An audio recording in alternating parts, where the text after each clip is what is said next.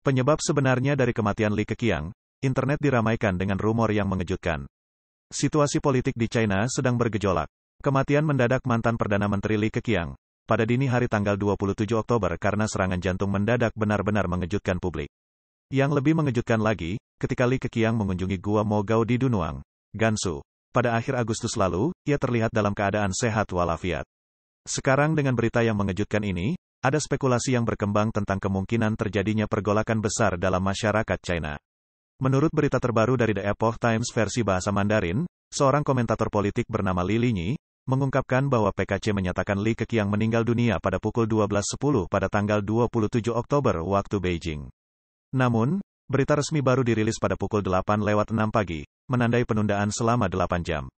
Lilinyi menunjukkan bahwa waktu 8 jam ini menimbulkan kecurigaan bahwa para pemimpin senior PKC sedang melakukan pertemuan yang membahas bagaimana menangani informasi mengenai kematian Li Keqiang ada kemungkinan adanya agenda tersembunyi. Karena, jika ketujuh anggota komite tetap Politbiro memiliki kesepakatan yang bulat, maka tidak akan ada penundaan yang begitu lama dalam merilis berita tersebut. Chai Sen-kun, seorang tokoh media terkemuka China yang tinggal di Amerika Serikat, berbagi di X bahwa seorang individu penting mengungkap penyebab sebenarnya dari kematian Li Keqiang. Dia merasa hal itu benar-benar tidak dapat dipercaya dan sangat mengejutkan. Dalam lanskap politik yang berubah dengan cepat, Bahkan mereka yang dianggap sebagai pejabat tinggi pun dianggap tidak penting seperti semut, dilucuti martabat dan nilainya.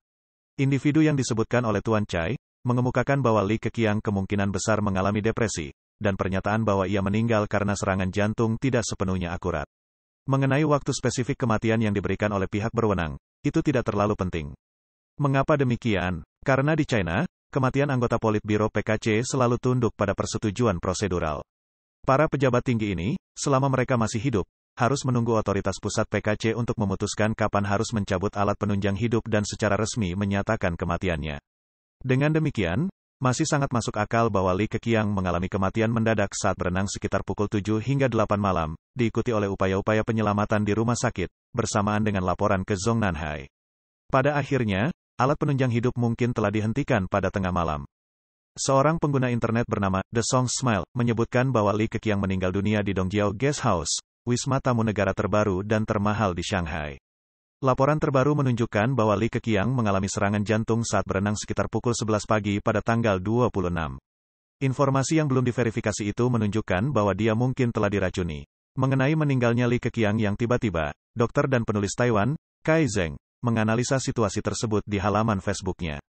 Dia menunjukkan bahwa kematian mendadak karena penyakit jantung biasanya disebabkan oleh dua penyebab utama, yaitu infak miokard masif yang disebabkan oleh penyumbatan arteri koroner atau irama jantung yang tidak teratur yang menyebabkan curah jantung tidak mencukupi.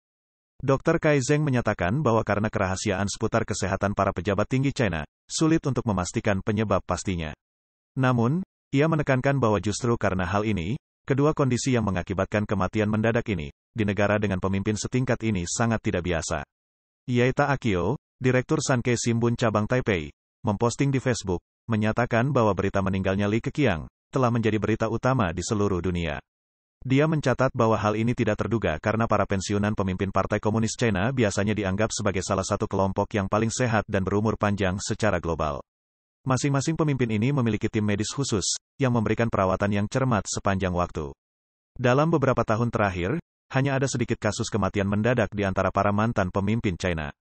Artikel tersebut mengakui bahwa Li Keqiang, yang baru berusia 68 tahun dan tanpa beban urusan negara, membuat kepergiannya tampak sangat mendadak.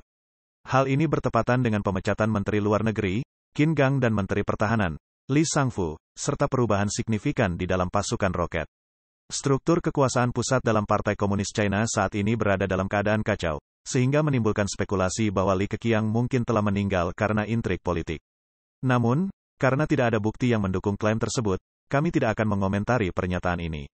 Artikel tersebut juga menunjukkan bahwa meskipun Li meninggal dalam keadaan yang mencurigakan, sangat tidak mungkin pihak berwenang China akan mengakuinya.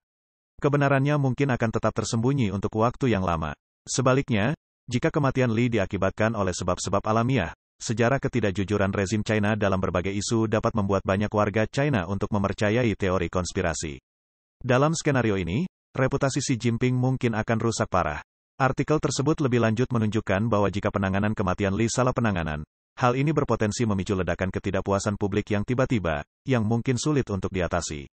Secara historis, kematian tokoh-tokoh terkemuka telah menyebabkan gerakan yang signifikan. Seperti gerakan tanggal 5 April setelah kematian Zhou Enlai pada tahun 1976 dan insiden tanggal 4 Juni setelah meninggalnya Hu Yaobang pada tahun 1989. Artikel ini menimbulkan pertanyaan tentang apakah publik akan menggunakan acara peringatan untuk Li Keqiang sebagai sarana untuk mengekspresikan rasa frustrasi mereka terhadap pemerintah dan bagaimana pemerintahan Xi Jinping akan menanggapinya. Ada perasaan yang jelas bahwa badai yang menghampiri akan segera terjadi.